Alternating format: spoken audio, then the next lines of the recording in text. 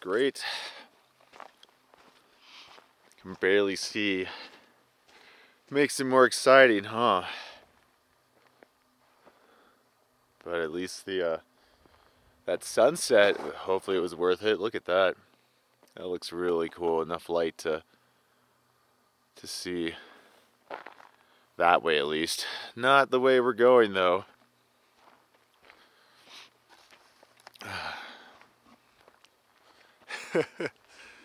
so I didn't get what I wanted to with the sunset. There was enough time, but hopefully you like what I did get.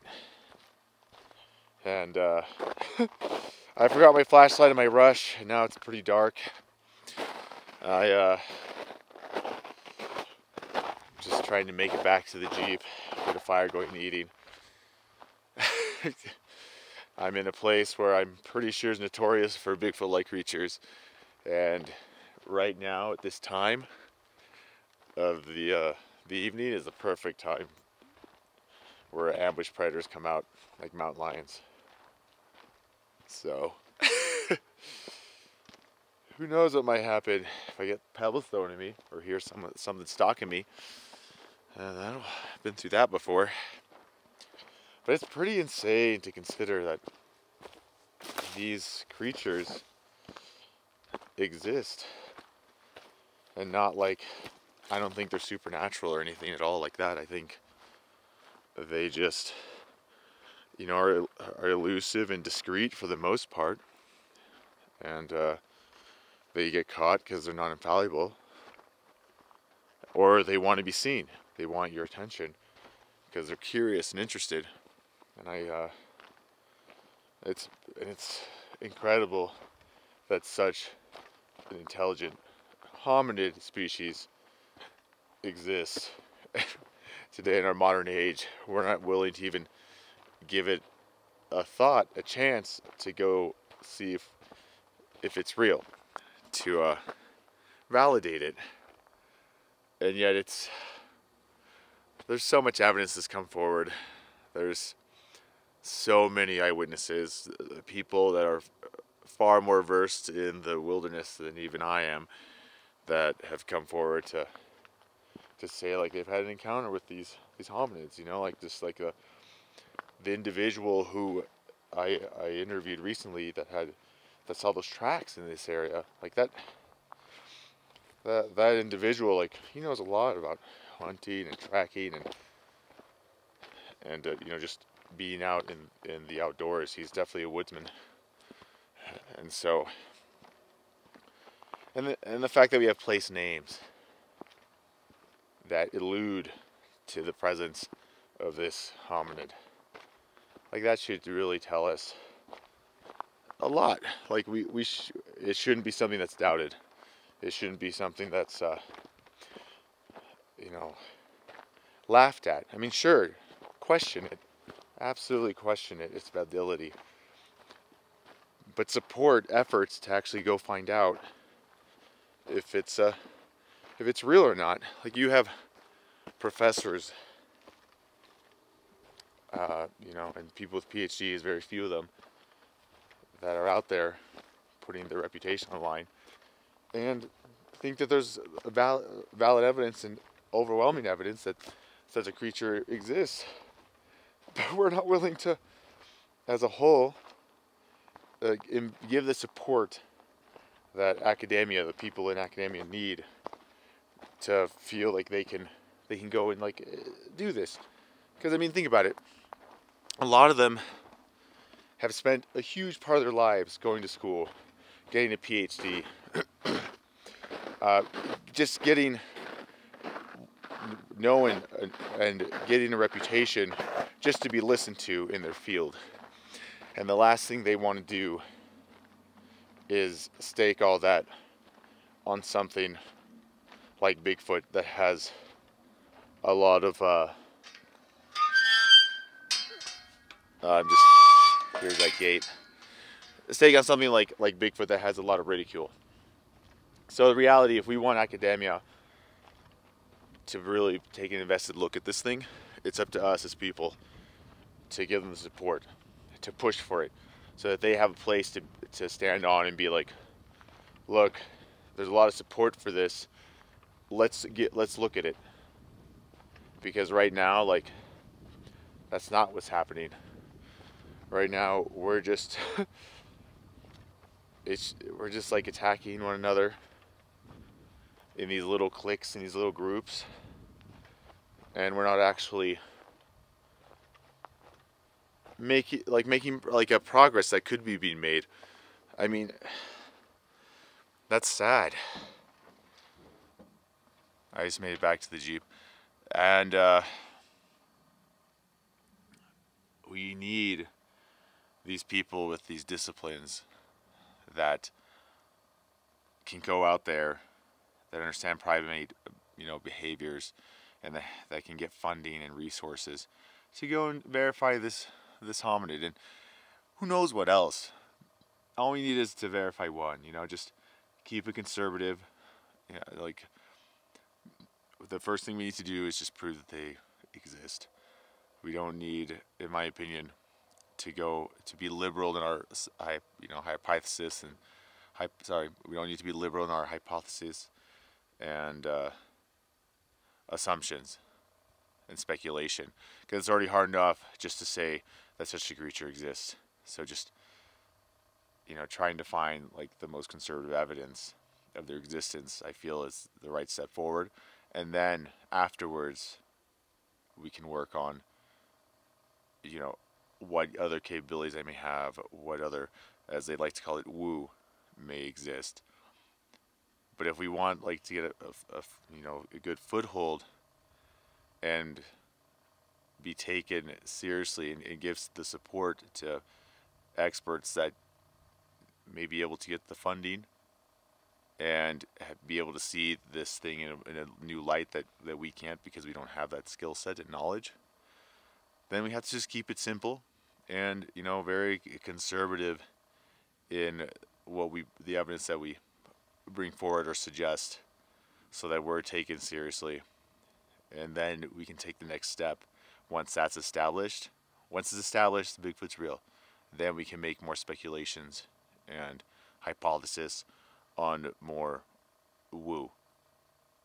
But to do that now is like i feel like premature because that just makes it even harder to prove if we're talking about you know interdimensions and you know like that they can vanish thin air or go invisible or whatever whatever it may be like the the speculation on the matter to explain how they seem to vanish. So i'm not saying that's bad but to begin with just to begin with we just stick with more conservative hypothesis and speculation to uh, build a solid backing for this hypothesis of this North American hominid and give the support as a whole, as, as the people as a whole, like uh, you know, as a group and a large population, to academia to push them and support them to look at this more seriously. Because honestly, it's scary. it, was, it terrified me the first time I had an encounter with these creatures because I thought I knew, you know, like the, the forest. I thought I knew the mountains. I thought like I felt safe because I knew what to do with uh, these, you know, other apex predators. But we should know about what to do when we run into one of these, or to even know that they're around. You know, like in my first incident, like I thought it was a person, so I just outflanked it, went around, and uh, it got really angry. Like it, it just started shaking stuff and like throwing big stuff like uh, like limbs and rocks at me. Like if I had been aware that they even existed, and that if something's throwing uh, like a little stuff at you from the woods and making noise but not showing themselves, it may not be a person. It could be one of these these creatures, and that may be a friendly you know behavior. But if you get too close, then it's going to get aggressive. It's going to defend itself just like anything else. And I would have liked to have known that. So I, when that happened, I wouldn't just assumed it was a person trying to mess with me and got in there nonchalant thinking like I'm just going to get this these people doing this to me. Like that's it's not it's not cool like to have like an apex predator out there and we don't know about it. And for the most part like the encounters I've had and and the uh, interactions have been friendly. but still, we I it shouldn't be something that we that we that we that we don't know about that we laugh at until like we're face to face with something that shouldn't exist. There, there shouldn't be people out there where they're getting harassed by these these hominid species at their home, and, and they can't do anything about it. They have no one to call. Like who are you gonna call? The police, you know, the National Forest, wildlife, um, and be like, hey, I have a Sasquatch like that keeps like smacking my house, throwing stuff at me, and peeking in my window. What do I do? Like you know, it's just like these people are are like like victims of this system because it's laughed at and they're just stuck because what do they do like they they don't have anyone to call they don't know like any remedies uh, you know like they know what to do for bears and cougars what do you do for with something like this that's intelligent that you can't even like talk to anyone to help you uh, you know set boundaries with this species uh, or stop it from from like harassing you. You know, maybe if that's not its intent, that's that's what happens a lot of the times, especially at these homes. You know, I get to go to places and have the chance to run into them, and so it's it's more interesting for me. Like I can leave whenever I want, but I could see based on like my my first experiments of just being in the jeep, you know, like they they just kept waking me up. You know, once they got to the point where like the pebble throws weren't enough and I I was already like kind of jaded from it uh, which just shows you how long that went for. They would throw bigger ones. They would run up to the side of the Jeep and smack it and run away. You know, they escalated it because they wanted my attention. And so I can only imagine how how, how inconvenient it must get if you're in a, if you live in a place in the wilderness where the, these uh, hominids are around and they just they just don't leave you alone. Anyway, I'm going on a tangent and I need to get my fire going. Finally made it back to the Jeep. Uh, but yeah, you know, like just I'd say uh, keep it conservative. We just, we don't we don't we all we need to do is prove that they exist and then we can go uh, go crazy with uh, what the the what ifs, the what ifs, how they do this and that. First, just they exist. Just we have to verify that. You know, secondly, you know, like support uh, you know academia and the only way to do that is to kind of unify and change hearts and minds of people and show them like these these uh, hominid species whatever they are they, they do exist they do exist and uh, we need to pressure you know like in my opinion you know like the governing forces and the different echelons that control like wilderness and place in the, like the outdoors that it for safety we should know how these that they exist and and how they operate their behaviors so that we can be safe or, and so that we can respect their territory and have a more enjoyable time out, out in the wilderness just like we, we we know with bears and mountain lions. We respect their territory. If we see them if you know like a bear like starts huffing and puffing and stomping his his uh, his paws you know that you know that that means a warning to back away or else I'm going to charge you. And we need to know that stuff about the species to protect ourselves and to give them the space that they need and to know like when there's evidence that they're around anyway uh it's uh it's fire time getting cold and hungry. Have a good night. Unless i talk to you later tonight drinking wine honey wine. All right bye. Good morning. It's a lovely and fine day today and it's going to be an early start.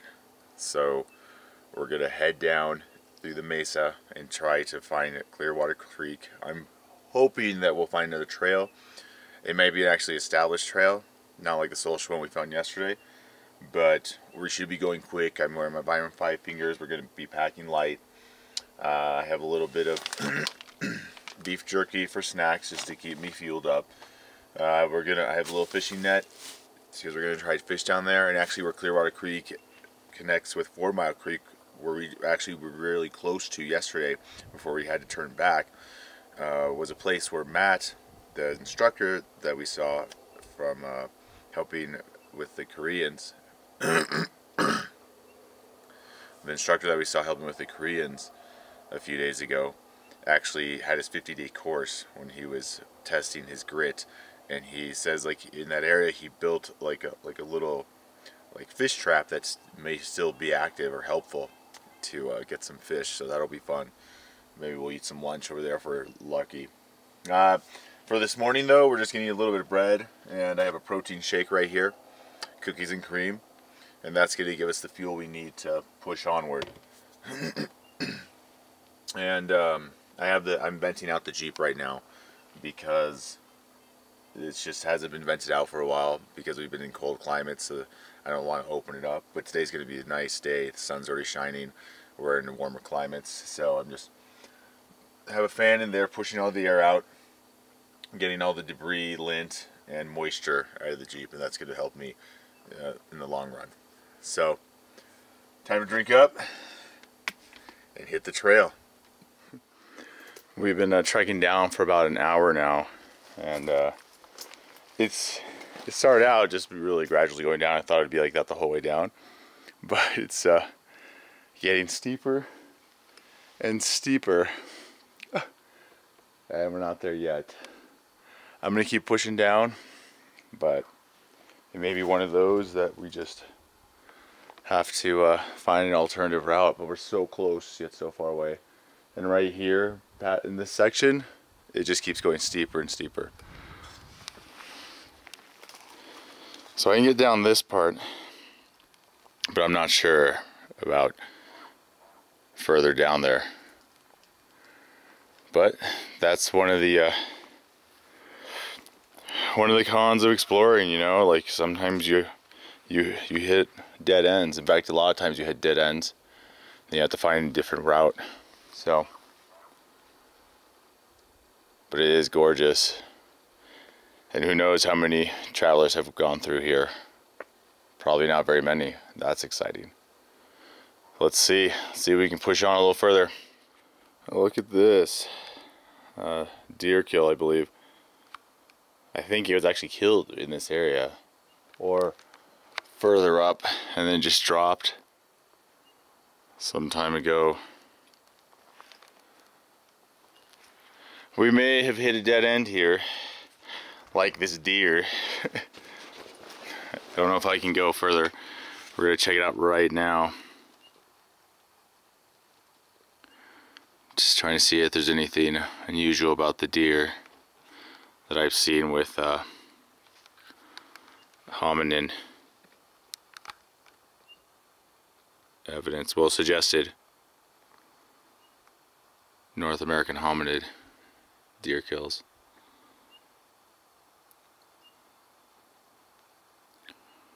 Well, looks like a pretty straightforward mountain lion kill.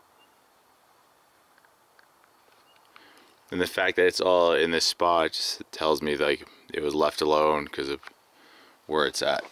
All right, let's go see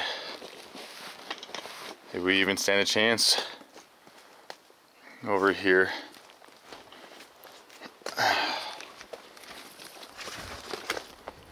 Oh! You see what I'm looking at? Oh, I don't know if I'll be able to get down through here.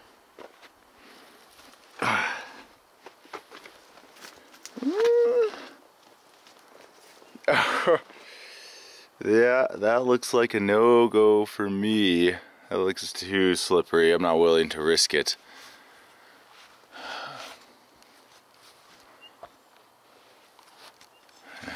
But it is beautiful. Water's all seeping out.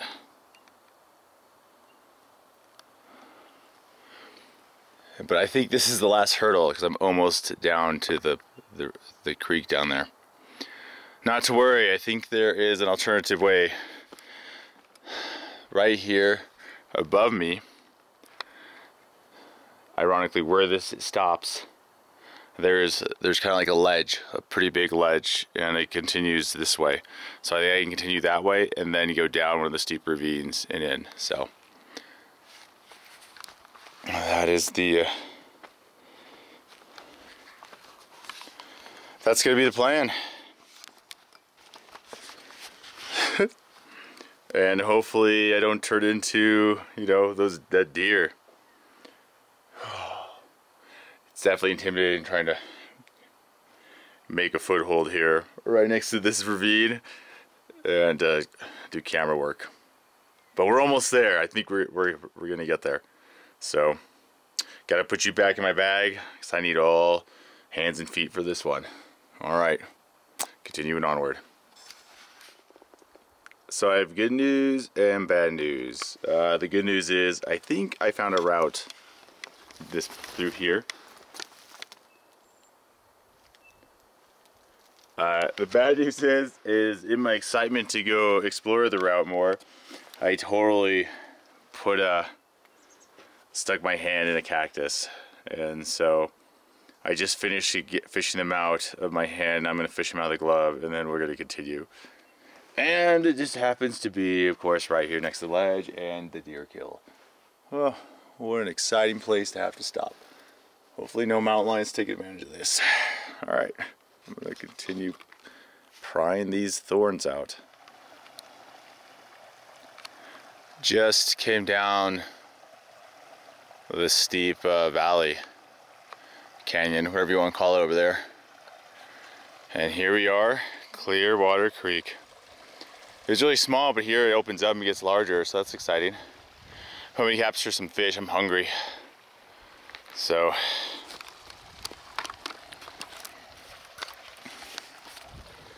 for now, however, uh, we're just gonna keep following all the way down to where it meets uh, Four Mile Creek, the one that we were at yesterday. And uh, it's supposed to be a really pretty area. I mean, it already is a beautiful area, but where they converge is supposed to be really nice. So we go there, set up a little bit. Uh, I'm gonna eat some snacks and uh, see if we can catch anything. We'll use the net and then we'll of course uh, see if we can catch anything by hand. let's push onward. Here's a good sign. I don't know if you can see them in there, but there's a bunch of uh, brook trout. I'm see if I can get a better look without them running off. Oh, oh, okay, it's okay, it's okay.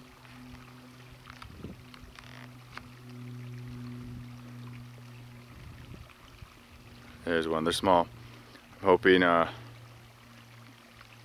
when we get uh, further down, where there's more water, we'll have larger ones.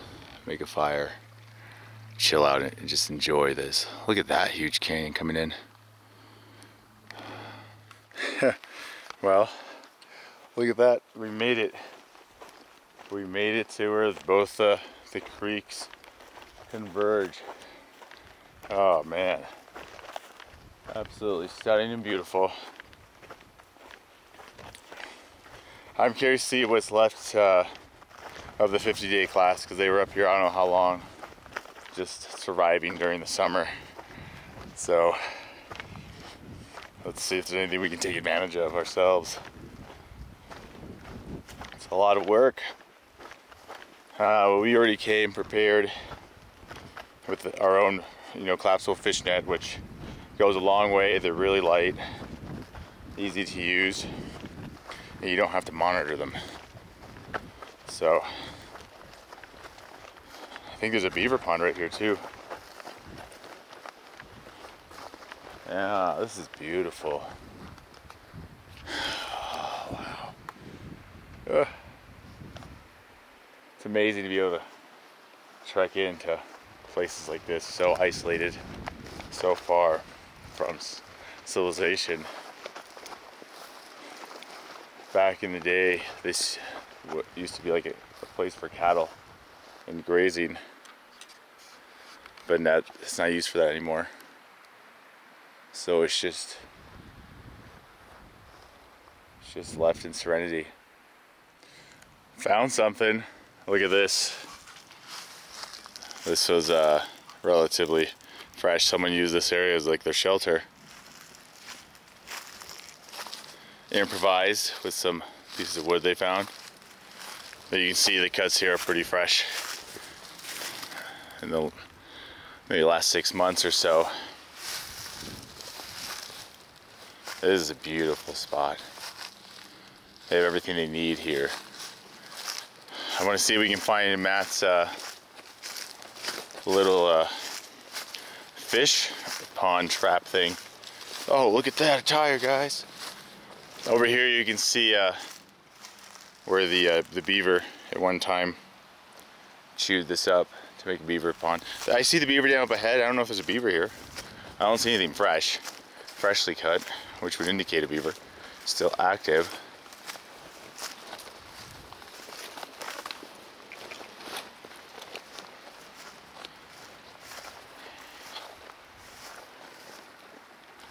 Oh, look at this. So this is what uh, what uh, Matt made to try to like keep the fish in there so they can swim in, but it's hard for them to swim out so we can catch them by hand. Let's see if there's any fish even in there.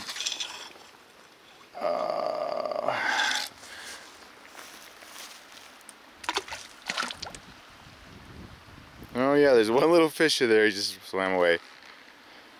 Okay, time to see if we can find some food. Some good sized fish in here. It'll be harder to get them though because it's so so big. But we're gonna try. Lo and behold, another shelter site. Um, looks like they're further up in here.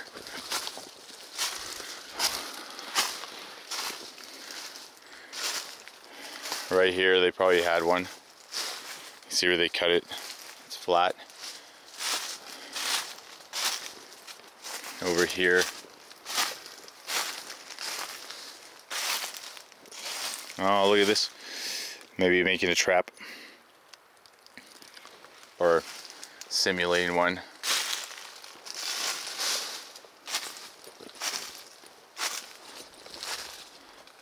Yeah, there's a lot of leaves here they could use too. Ah, uh, maybe not as many when they came. That's cool. Oh, look at this. Here's where they were.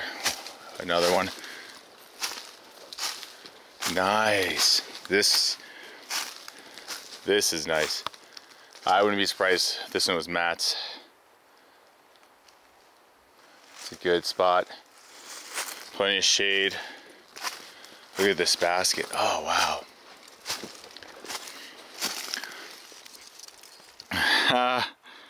that is so cool. Oh, maybe it's not Matt's. Matt is a perfectionist. And this is really nice. And this was tough to make. But Matt probably just carried his out with him. Look over there, a bone. That's cool. But this fire spot's a good spot. Fire's gonna just radiate back at you. Let's keep looking. Maybe we'll find more. Here's uh, nearby the other one. It might be part of the same one. But basically, uh, this was like a little shelter that I presume he just threw more leaves and stuff on top of him or something else to stay warm and didn't use a fire.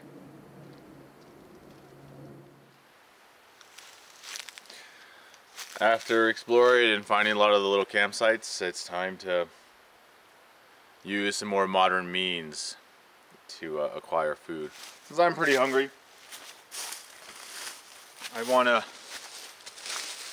just chill today until I have to leave. And so I'm going to cast this net out and probably explore. This thing's cheap and simple and just stowed in my day pack. And look at that. So something like this goes a long way.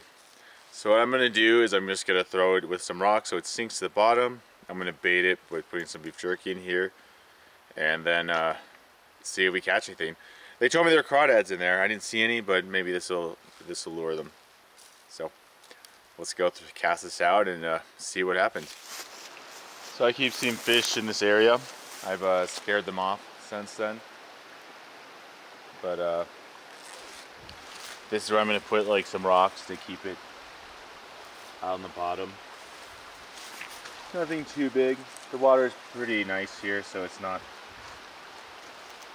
it's not uh, moving a lot. So maybe just three uh, rocks like this. Zip that up so they can't leave. Continue to like to swim in that area, so I'm just going to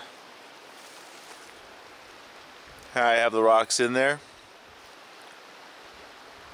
and I'm just gonna cast them out here and then tie them on off and maybe wait an hour and come check it. I'd be stoked if you get crawdads. I like crawdads.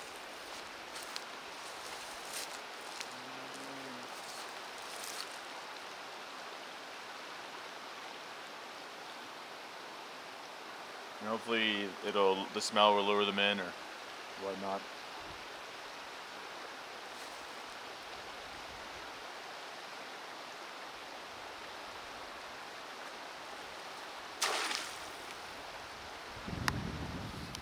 Now we'll just uh, look for stuff to make a fire, and this this will burn like really well and really quick.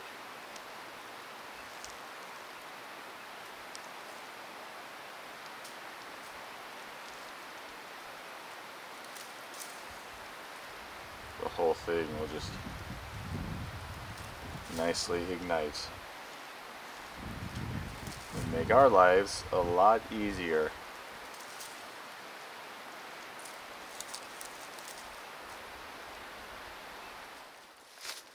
And once we've got that, we can get uh, smaller pieces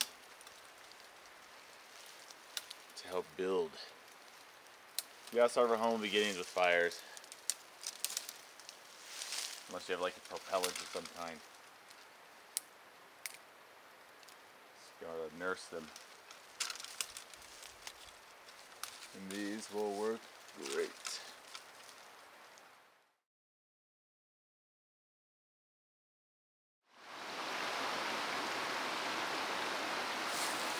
Nope. Nothing. And time is not on our side. It's getting close to having to leave.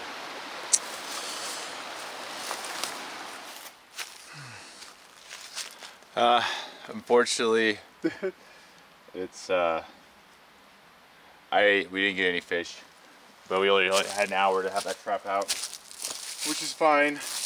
The main part of this mission isn't to uh, just, you know, live off the land. It's the recon foremost, and then later uh, come back because I do want to come back to a place like this. This place is amazing. So many resources. I just don't have time. So what we're gonna do though is we're gonna just build a little fire because I got I want to try this. I've never tried this. It's ripe and it's uh, let's see if I can show you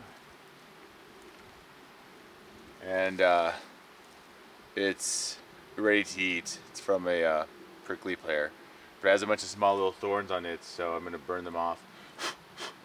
And then uh, try it out. Hopefully I don't I, I do it correctly. So, so anyway you know we got a bunch of this which is gonna work fabulously. And I have some uh, cedar in there too. So I'm just gonna throw it all in there like that. It's gonna go up in flames. And I'm just gonna throw a bunch of these little guys on here and just build it up. Build her up. I'm just gonna actually rip these in half. Scatter them out so they're easy to pick. And uh, Here's some uh, sage to make it smell better. But it also burns really well right now when it's dry.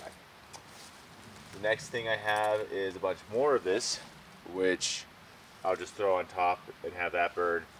So we have a lot going burning when we get this thing going.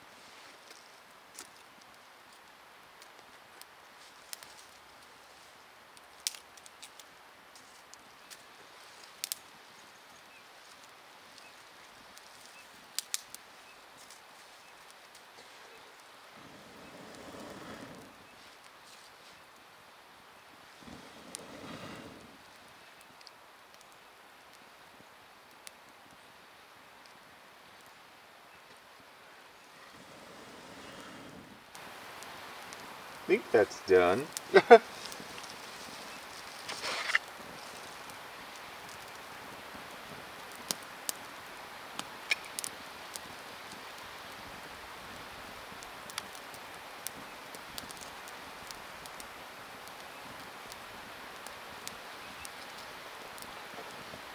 open her up and uh, I guess just scoop some out.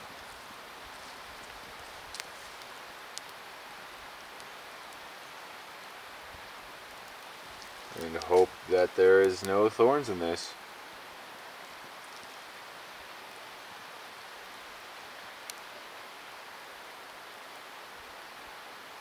Mmm. Tastes really good.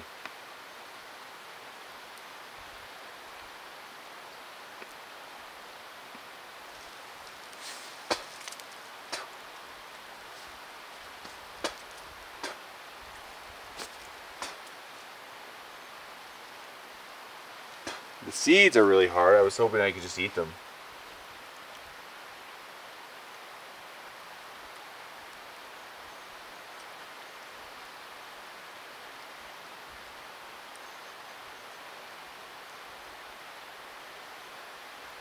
I've been in other places they get way bigger. Further down south.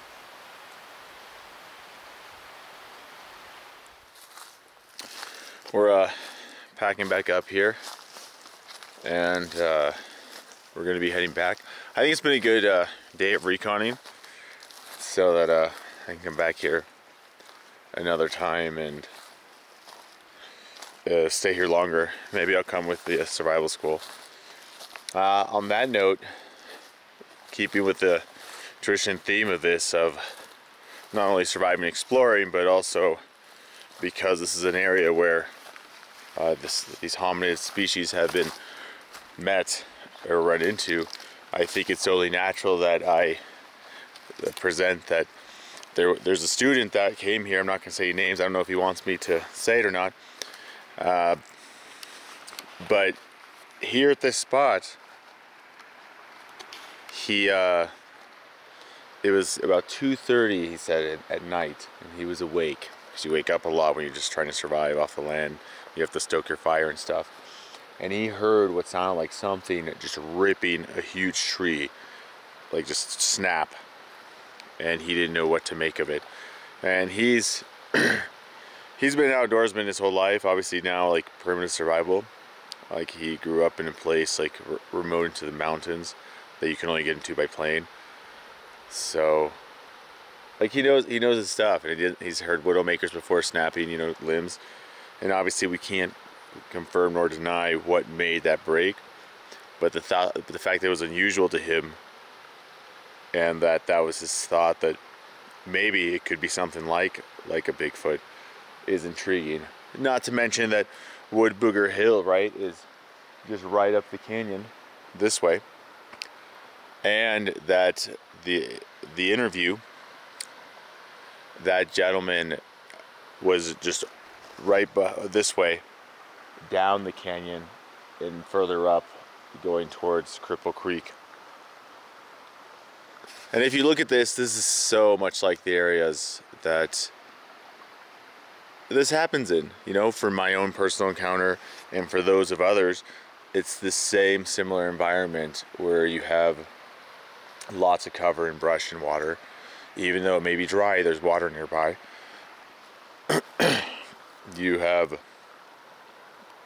different climates and life zones because of the elevation gain and drop.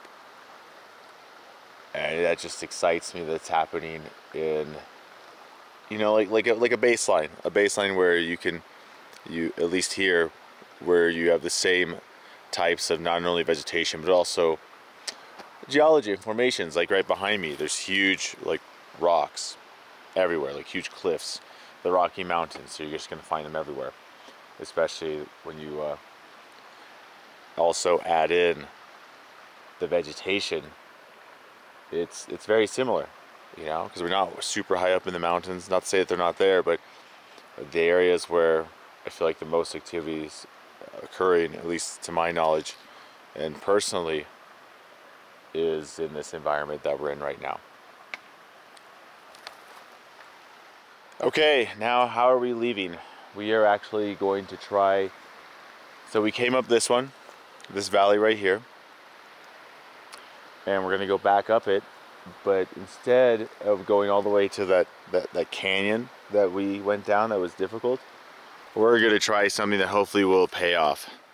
So we are going to just hike up that ridge and then go over to the right side of that cliff and up onto the mesa and hope that from there on out it'll be pretty easy back to the Jeep. So that first part there is going to be the hardest. And I think I can make it. I was looking earlier up there from a higher vantage point and unless there's a cliff in my way to get up to that hill spot, we should be able to make it. Oh, just to give you some perspective, normally takes the survival class on their 50 day uh, journey, you know, doing 50 days survival training, which is very impressive. About four days to get down into this area that we're at. So the fact that it took us, you know, two and a half, three hours shows you that we went in a very quick pace and we took really rough terrain just to get down here.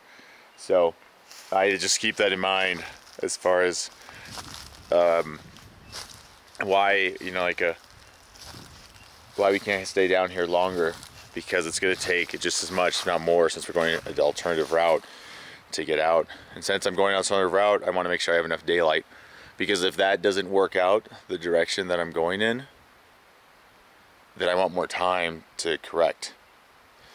So again four days to get down here and because we're on a recon to inspect the area and routes over here. You know, we packed light, we didn't pack to spend the night, but we got in here quick. And now we have to hopefully get out of here quick. You know where we're going to next?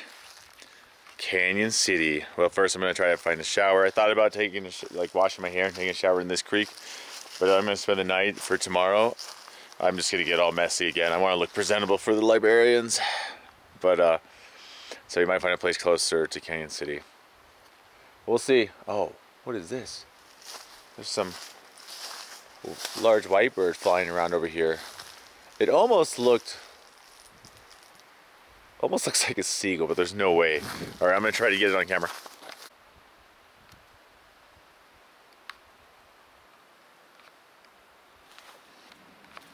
Oh, it's a bald eagle, that's what it is. And that is a plane. Of course, that bald eagle shows up as soon as I put the tripod away. Figures. Well, I'll, I'm sure I got terrible, terrible footage of it, but I, I think there's little bits and pieces of it. Oh, maybe I'll try to slow it down. All right, let's go. Whew, we're about halfway up and you can see we were way down there. That's that open plain and that's where the, the creek merges. And we came all the way up this valley and then we've just been going straight up almost.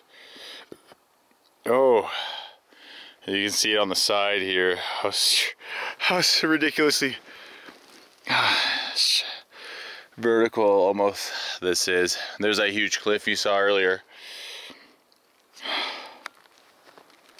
Oh. Oh.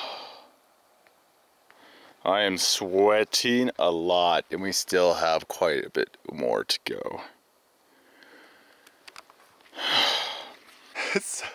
so what do you think, huh? Whew. That's far down there, huh?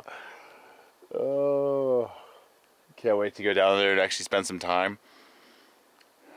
Just camp out. Oh, it was beautiful. I have to keep making sure I don't hit any cactuses on the way up with my Vibram Five Fingers. Keeps me more alert, but it does take more work. All right, let's get to the top of this mesa. This is freaking awesome. I'm uh, nearly to the top from coming down there.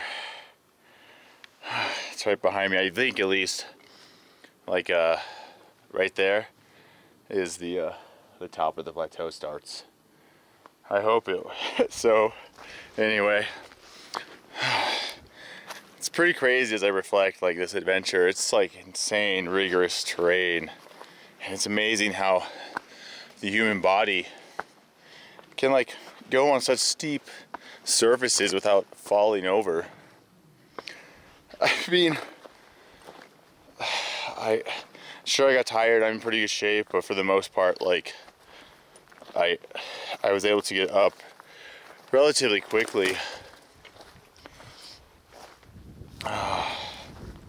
And upon further reflection, I uh, also realize how thankful I am for little things I almost never have to use, like tweezers. And furthermore, you know, it really showed me how a little incident like the thorns from the cacti uh, in my fingers, how much time that took. And that was with like uh, tools to actually do something about it. Oh, look at that. You guys see that? Wow. That is gorgeous. Um, with tools to actually implement it, it took, took a big part of my time, you know? Like it took over, I think, half an hour to do it. And honestly, it would have really hindered me and restricted me had I not had tweezers to take it out. Like it would just, every, because uh, I had to be climbing in that area scrambling. Even coming up here, I was scrambling because there were cliffs I had to scale up. So little tools like that go a long way. And I'm normally pretty vigilant, but obviously I still get uh, get get get complacent too. So anyway, just some things to consider. Almost to the top of the mesa. I hope. I'll let you guys know. either way. Because once we're up there, then it'll be like easy. It'll still be really a long walk, but easy walking. All right. Got this last bit, hopefully, right behind me. And then we're, we should be there. Made it up. Oh, man. It's beautiful. I just can't state that enough. Here, let's look over the edge.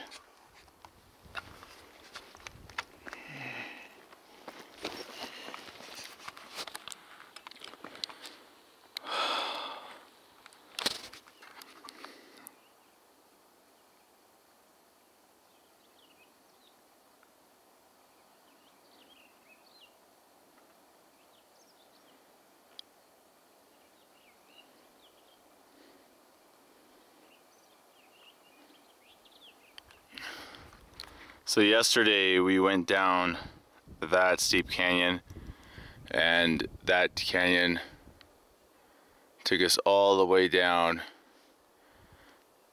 over there over to this area right there.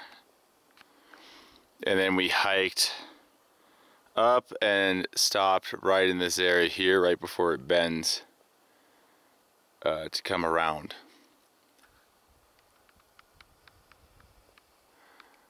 Pretty beautiful. Look at this wall.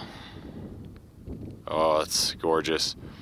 So here we can see the, uh, this used to be an ocean. This used to be the ground before the mountains pushed up to form this plateau up here. Oh, this is so beautiful. Cripple Creek's that way, up north. The, the east is that way. And then of course west, where we're going. Well, we're heading more northwest to get back to the Jeep. And you can also see, once again, down there, that's where we came from. Man. So uh, cool. All right, I'm just gonna keep talking about it. I'm gonna look at it by myself a little bit and then uh, head on. That would have been a good shot. Food everywhere. Found ourselves a bunny. of course, we can't, uh, we have no means once again to obtain it, but we'll just look at it in peace. It's watching us. Some uh, closing remarks of this trip as far as uh, Bigfoot's concerned, and that's uh, uh, the reality is that just like any elusive animal, the likelihood of you finding it, or it, the animal itself, or evidence of it, is pretty slim to none.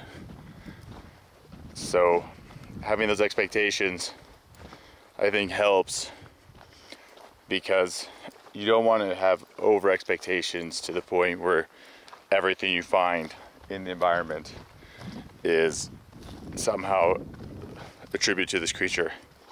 Then you get those YouTube channels where every single thing they find, whether it has a pattern or not, whether it's natural or not, somehow has to do with this hominid creature. And that's just the wrong way to go about it. Maybe it's more, maybe it gets you more publicity. I don't know, but it's not. It's not in search of truth. And maybe you are getting excited, and you're losing the uh, the fact that you're not being critical of what you're finding.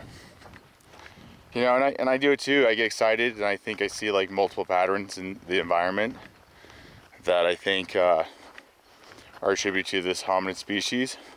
And sometimes maybe I'm right, but most of the time I'm wrong and I have to go give it a little bit of time and think about it critically again, do more research on known animals and phenomena, and find where, that it was something nat natural. Either an animal did on the environment or in nature, the elements did. So, if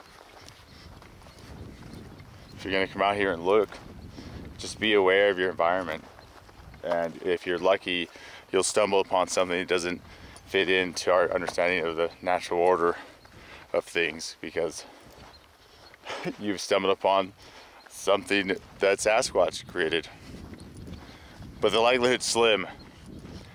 I mean, of all the stuff I found, it's a lot of it's just been going to the same spot over and over and over and over again until something happened or I, I came across something. Rarely has it ever been that I come to an area for a couple days like this and come across something. But some, you know, sometimes it is. But this is the beginning, you know, the start of reconning, understanding, and at the same time, you know, explore and just live out here. So, just leave your expectations at home. Don't expect to find something, because then you're gonna find something just because you want to and not because you it's actually you're actually finding some truth. Oh man, look at this. Oh, you guys see that back there? That's so pretty. I am so spoiled to be able to come out here and just explore like this wilderness on BLM land. Oh. But I am getting hungry. We are getting close to the Jeep. Not as close as I would like, of course.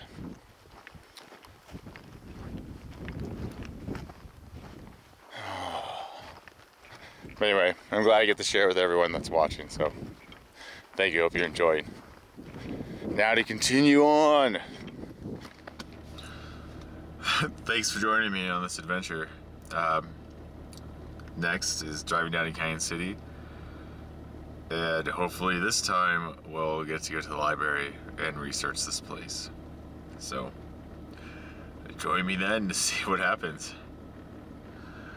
Only time and fate will tell where I go next. Hopefully it's a library so I can nerd out. Great news! Great news!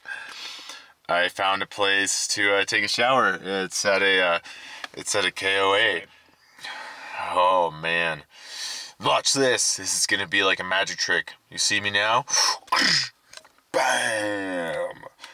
Oh, I feel like a million bucks. That felt amazing. Oh, I took my time, my sweet time. So now we're gonna head into Cañon City and find some grub. You know, I want something unhealthy. Yeah, that's what I want. So let's see what we find. We're heading on in and looking wonderful, I might add. yeah. All right. Next stop food. So, unfortunately, I never made it to the library. still, like three times the charm, but still didn't make it. I ended up having to go home early, so I never made it, and unfortunately got a lot of stuff stolen. However, Glenn, who's been such an inspirational help, he did find it. So let's hear what he had to say. So what'd you find? Well, I'll tell you. Okay, so I uh, talked to you about Booger Red Hill, and it's very cool. And I know that booger is a another term for the Sasquatch or swamp Yeah, monster yeah. or whatever. So I was very excited about it, thinking because Cripple Creek, up in the mountains, Booger Red. It sounds very cool. Unfortunately, I talked to uh, one of the gals. I was doing a project up there, and I was talking to one of the ladies at the Victor Kim at the Victor City Hall, and she sent me some information on Booger Red Hill. And it was initially about a cowboy from Oklahoma who was scarred, hence the booger. They called him a little booger because he got burned or something Yeah. and he had red hair, so they called him Booger Red. I went, oh, bummer. Then I did some more research though, and found out he was from Oklahoma, Oh. and he never seemed to make it to Teller County and Yeah. Cripple Creek. So I got all excited again. Then I got more information about Booger Red, who is a cowboy and horseman from the four mile area of Teller County. This is from the Tombstone Inscriptions webpage. The Booger Red Grave. In fact, there's a picture of Booger Red. I can send this to you. Um, he got his unlikely nickname from his thatch of red hair and the verb to booger, a cowboy term describing a horse shying or running wild. So evidently, Booger Red is a rockin' cowboy from Teller County and the whole Cripple Creek area. So I don't think Booger Red Hill is So named it was named after this uh, cowboy. after this cowboy. See, It really isn't interesting. There are two yeah. cowboys with the same name of Booger Red in totally different areas. But in fact, this guy Booger Red, his grave is up there. Um, gosh, uh, is marked with stones, but no tombstone identifies the site. It's a private property, inaccessible to, to the public, uh, but near Booger Red Hill in Teller County. So, Well, wah wah wah. well, you know, I appreciate that, and I guess that explains why Booger Red Hill is not red. right, right. You know, it's always like uh, all we can do is search. I'm, I'm thankful that Yeah. you found it, and But it's cool. it was it wasn't what I was hoping for. yeah, But it's like what we what, what we got. So, yeah. Well, and it's, it's better. It's better to be disappointed with reality than to be, I don't know, faking optimism and making up, up stuff. I think this is. Yeah, absolutely. This is Well, better. This is the only way to find truth. Yeah, exactly. It's through the truth. It's the and truth. seeing where it leads. So, Yeah. hey, thanks so much. and I Hey, look thank you. forward Thanks to- to. So there you have it. Um, unfortunately, it wasn't what I was hoping for. But the search for the truth doesn't always give you what you want. So, Booger Red Hill has no association with Sasquatch whatsoever, but that doesn't stop that there are so many encounters going on in that region. And that's not going to stop me or all the other ones searching for the truth. Thanks for watching. Like, subscribe, follow, share. And if you have an encounter, you know, send me an email at encounters at modernexplorer.me. Till next time, the search for truth, knowledge, and freedom.